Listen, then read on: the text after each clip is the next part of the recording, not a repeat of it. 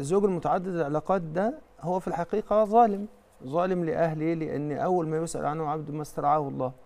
وهو في الحقيقة هو لا يرعاه. الناس متصورين أن الرعاية الرعاية أكل وشرب لكن أهم الرعاية كمان اللي ذكرها الله سبحانه وتعالى وعاشرهن بالمعروف. فالعشرة بالمعروف لما واحد يكون قادر أن هو يعاشر امرأة بالمعروف ويترك عشرتها فهو في الحقيقة ظالم والظلم كبيرة فهو مرتكب لكبيرة.